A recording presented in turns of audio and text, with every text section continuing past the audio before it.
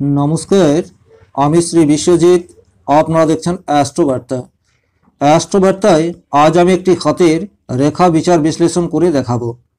বর্তমানে এই জাতকের বয়স একুশ বছর প্লাস এই জাতকের কর্মজীবন নিয়ে আমি এই ভিডিওতে আলোচনা করব। অর্থাৎ জাতকের প্রফেশন কি হতে পারে? কোন পেশায় গেলে জাতক কাঙ্ক্ষিত সফলতা পেতে পারে? এই জাতকের হাতে কি সরকারি চাকরি পাওয়ার কোনো যোগ রয়েছে? নাকি ব্যবসা করলে এই জাতক সফলতা লাভ করতে পারে? আর যদি ব্যবসাই করে, সেক্ষেত্রে কিসের ব্যবসা করা এই জাতকের জন্য শুভ হবে? এই সমস্ত বিষয়টি আমি আপনাদের সামনে পরিষ্কার করে তুলে ধরার চেষ্টা করব। আপনারা চাইলে আপনাদেরও হাতের রেখার বিচার বিশ্লেষণ করাতে পারেন। আর এখনও যারা আমার এই চ্যানেলটিকে সাবস্ক্রাইব করেননি, তাদের কাছে আমি অনুরোধ করব, বিনা পয়সায় আমার চ্যানেলটিকে সাবস্ক্রাইব করুন। এর জন্য কোনো পয়সা লাগে না। আর পাশে থাকা নোটিফিকেশন বেল প্রেস করে রাখুন। তাহলে আমার সব ভিডিওর নোটিফিকেশন আপনার কাছে পৌঁছে যাবে। তো আলোচনা করব এই জাতকের প্রফেশন বা জীবিকা। তো প্রথমত দেখব এই জাতক কি মানসিকতার। অর্থাৎ কি ধরনের? তো সেটি বুঝতে গেলে আমাদেরকে সর্বপ্রথম দেখতে হয় হৃদয় রেখা। এই দেখুন, এটি হচ্ছে হৃদয় রেখা। হৃদয় রেখা বৃহস্পতি এবং শনি পর্বের মাঝে গিয়ে শেষ হয়েছে এবং হৃদয় রেখাটি রাউন্ড আপ নয়, স্ট্রেট। তাহলে এই ধরনের হৃদয় রেখা ইন্ডিকেট করে জাতক বাস্তববোধ সম্পন্ন। অর্থাৎ পরিস্থিতি অনুযায়ী নিজেকে মানিয়ে নেওয়ার ক্ষমতা থাকবে। অযথা অতিরিক্ত চিন্তা বা টেনশন এই জাতকের মনের মধ্যে থাকবে না। আর যেহেতু জাতকের বৃহস্পতি পর্বটি যথেষ্টই বড়, বৃহস্পতি জ্ঞান, বুদ্ধি, বিচারবোধের কারক গ্রহ তাই এই জাতক তার জীবনে চলার পথে বিচারবোধ জ্ঞানকে কাজে লাগিয়ে এগিয়ে যেতে পারবে। তারপর আমরা কি দেখব? তারপর দেখব আমরা আয়ুরেখা এবং মস্তিষ্ক রেখা।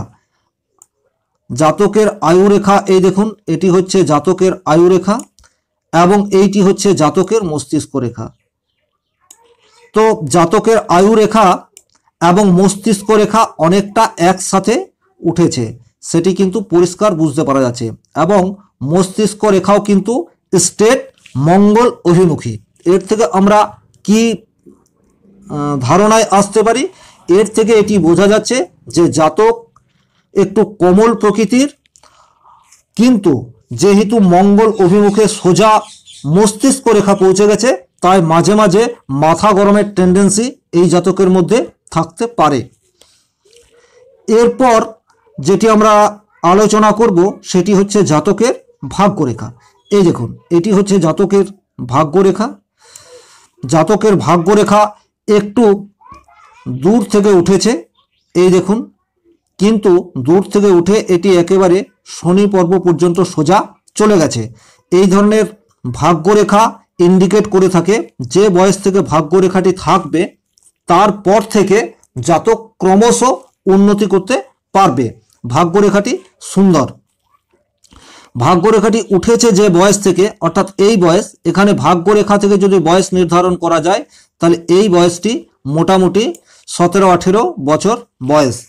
তাহলে সতেরো আঠেরো বছর বয়সের পর থেকে জাতকের ভাগ্য রেখা রয়েছে, সুতরাং ভাগ্যের উন্নতি শুরু হবে।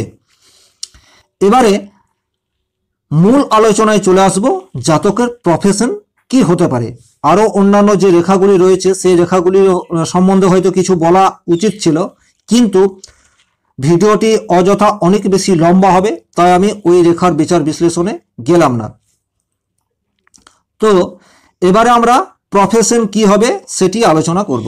দেখুন, সরকারি চাকরি পেতে গেলে রবির পজিশন বেটার হওয়ার প্রয়োজনীয়তা আছে। তো রবি ক্ষেত্র হচ্ছে করতলে এই জায়গাটি। এই জায়গাটি হচ্ছে রবির ক্ষেত্র।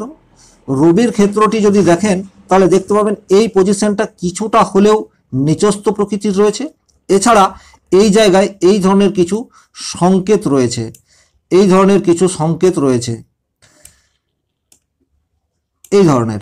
তো এগুলি খুব একটা শুভ ফল দেয় না। অর্থাৎ রবি এখানে খুব একটা সবল কথা কিন্তু বলা যায় না। এই কথা বলা যায় যে রবি রবির পজিশন অনুযায়ী রবি কিছুটা দুর্বল। সুতরাং সরকারি চাকরি পাওয়ার ক্ষেত্রে এই জাতকের তেমন সুযোগ নেই বলা যেতে পারে। তাহলে কি জাতকের বেসরকারি চাকরির যোগ রয়েছে? অবশ্যই জাতকের বেসরকারি চাকরি পাওয়ার যোগ রয়েছে। কারণ বেসরকারি চাকরির জন্য আমাদেরকে চন্দ্রের পজিশন এবং শনির পজিশন দেখতে হয়। জাতকের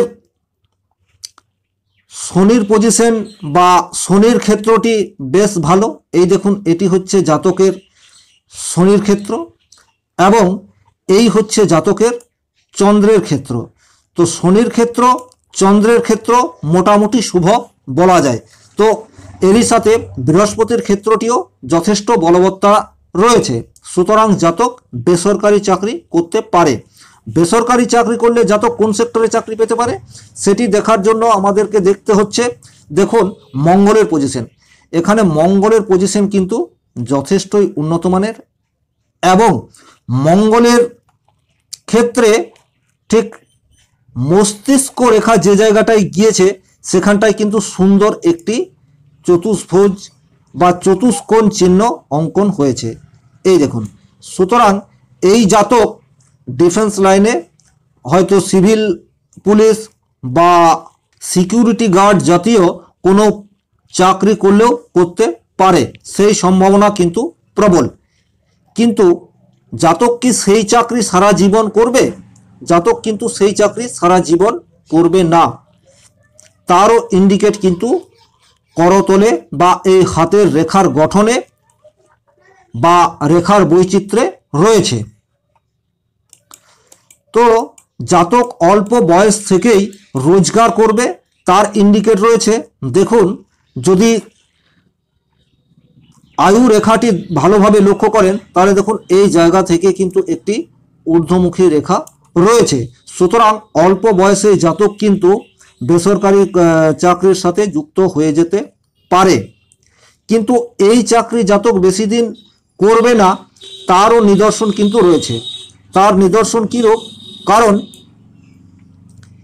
দেখুন জাতকের মঙ্গলের পজিশন অত্যন্ত স্ট্রং এই দেখুন, এটি হচ্ছে মঙ্গলের পজিশন তো যেসব জাতকের মঙ্গলের পজিশন অত্যন্ত স্ট্রং হয়, মঙ্গলে শুভ রেখা থাকে, তারা কিন্তু নিজস্ব ক্রিয়েটিভিটি দ্বারা জীবনে উন্নতি করার চেষ্টা করে এবং অধিকাংশ ক্ষেত্রে তারা সফলতা লাভ করে। এছাড়াও, এরা পরের অধীনে বেশি দিন চাকরি করতে চায় না। তো এই যে ইঙ্গিতটি পাওয়া যাচ্ছে, এই ইঙ্গিতটিকে আরও জোরালো করছে জাতকের বৃদ্ধাঙ্গুষ্ঠ। এই দেখুন, জুম করে আমি দেখাচ্ছি। যদি বৃদ্ধাঙ্গুষ্ঠ দেখেন, সেক্ষেত্রে বৃদ্ধাঙ্গুষ্ঠ কিন্তু যথেষ্টই শক্তিশালী এবং সোজা দাঁড়িয়ে আছে। তো বৃদ্ধাঙ্গুষ্ঠ যাদের সোজা দাঁড়িয়ে থাকে, তারাও কিন্তু মানসিক ক্ষমতা সেই সমস্ত জাতকদের অনেক বেশি থাকে। তাহলে এক্ষেত্রেও কিন্তু এই জাতক পরের অধীনে চাকরি বেশি দিন করবে না। এছাড়াও এই কথাটিকে সমর্থন করছে, আপনি ভালোভাবে যদি লক্ষ্য করেন, তাহলে দেখতে পাবেন তার নিদর্শন রয়েছে কিন্তু হৃদয় রেখার উপরে। দেখুন। এই হচ্ছে জাতকের হৃদয় রেখা। জাতকের হৃদয় রেখায় দেখুন দুটি ঊর্ধ্বমুখী রেখা কিন্তু পরিষ্কার পাশাপাশি চলে গেছে। এই দেখুন একটি রেখা এবং এই দেখুন আরেকটি রেখা। এটি কি ইন্ডিকেট করছে? এটি যেহেতু শনির ক্ষেত্রে রয়েছে, তাই শনি কর্ম ফলদাতা এবং মানুষের হৃদয় রেখা থেকে বিচার করা হয় তার মনুষ্যত্ব, বিবেক, বিচার, বুদ্ধি। তাহলে এই জাতকের বিচার বুদ্ধি প্রবল এবং শনি হচ্ছে সংযম বা ধৈর্যের কারগ্রহ। তাহলে এই জাতকের মধ্যে ধৈর্য এবং সংযম যথেষ্ট পরিমাণে রয়েছে। সুতরাং এই জাতক চাকরি অপেক্ষা ব্যবসা করার সম্ভাবনা প্রবল। সেটিও ইন্ডিকেট করছে, এই দেখুন, এখানে শনির, সুন্দর একটি শনি রেখা। তাহলে হাতের মধ্যে সুন্দর একটি শনি রেখা রয়েছে। এছাড়াও এই জায়গাটিকে যদি ভালোভাবে লক্ষ্য করেন, তো দেখবেন একটি বুধমুখী ব্যবসা রেখা কিন্তু রয়েছে। একাধিক আছে। তাছাড়া বুধের আঙুলটির বা বুধের ক্ষেত্রের নিচেও কিন্তু এই ধরনের কিছু রেখা রয়েছে, যেগুলি ইন্ডিকেট করছে যে জাতক ব্যবসা করলে বেশি সফলতা লাভ করতে পারবে। তো জাতক ব্যবসা করলে কি ধরনের ব্যবসা করলে সফলতা পেতে পারে সেটিও আমরা আলোচনা করে দেখব বা এই হাতটির মধ্যে খুঁজে দেখার চেষ্টা করব। দেখুন, সেক্ষেত্রে কিন্তু আমাদেরকে গ্রহ পর্বগুলিকে খুব ভালোভাবে পর্যবেক্ষণ করতে হবে। এক্ষেত্রে আমরা দেখব যে জাতকের চন্দ্রের ক্ষেত্রে সুন্দর একটি মৎস্য চিহ্নের ন্যায় সৃষ্টি হয়েছে। এই দেখুন চন্দ্র ক্ষেত্রে কিন্তু একটি মৎস্য চিহ্ন রয়েছে। তো চন্দ্র ক্ষেত্রে এই ধরনের মৎস্য চিহ্ন থাকার অর্থ হচ্ছে এই জাতক চন্দ্রের যদি কোনো ব্যবসা করে থাকে, চন্দ্রের ব্যবসা অর্থাৎ জলের ব্যবসা করতে পারে, দুধের ব্যবসা করতে পারে, মাছের ব্যবসা করতে পারে বা দুগ্ধজাত সামগ্রীর ব্যবসা করতে পারে। এছাড়া চন্দ্রস্থানে বেশ কিছু এই ধরনের রেখাও কিন্তু জাতকের রয়েছে। এই দেখুন, এটি ইন্ডিকেট করছে জাতক ইনপুট আউটপুট অথবা ট্রান্সপোর্টিংয়ের ব্যবসা করলেও করতে পারে। সেক্ষেত্রেও কিন্তু যথেষ্ট সফলতা আসার সম্ভাবনা প্রবল। তাছাড়া জাতকের বৃহস্পতির ক্ষেত্রটি যদি দেখেন, তো বৃহস্পতির ক্ষেত্রও কিন্তু যথেষ্টই বড়।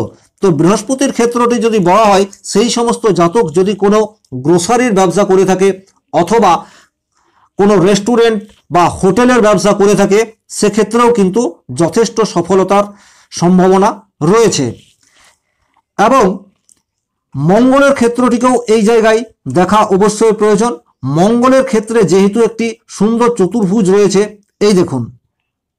সুতরাং মঙ্গল হচ্ছে ভূমি, ভূমির কারগ্রহ। তাহলে এই জাতক যদি, এই জাতক যদি প্রমোটিংয়ের ব্যবসা করে, সেক্ষেত্রেও কিন্তু জাতকের যথেষ্ট সফলতা পাওয়ার সম্ভাবনা রয়েছে। প্রমোটিংয়ের ব্যবসার জন্য শনির ক্ষেত্রটিকেও দেখতে হয়। শনির ক্ষেত্রে কিন্তু সুন্দর একটি রবি রেখা মাফ করবেন। শনি রেখা আছে। সুতরাং এই সমস্ত ব্যবসা যদি জাতক করে থাকে, তাহলে কিন্তু জাতক প্রভূত উন্নতি করতে পারবে। এছাড়াও যেহেতু মঙ্গলের ক্ষেত্রে একটি সুন্দর চতুর্ভুজ আছে, তো এই জাতক অদূর ভবিষ্যতে ভালো বাড়িও তৈরি করতে পারে। তাহলে এই ছিল এই হাতটির বৈশিষ্ট্য। যদি আমার আলোচনাটি ভালো লাগল, তাহলে অবশ্যই লাইক করবেন। আপনাদের একটা লাইক আমাকে ভীষণভাবে মোটিভেট করে। আর যদি কোনো প্রশ্ন থাকে কমেন্ট সেকশনে লিখে জানাতে পারেন। আজকের মতো বিদায় নিচ্ছি। ভালো থাকুন, সুস্থ থাকুন। ধন্যবাদ।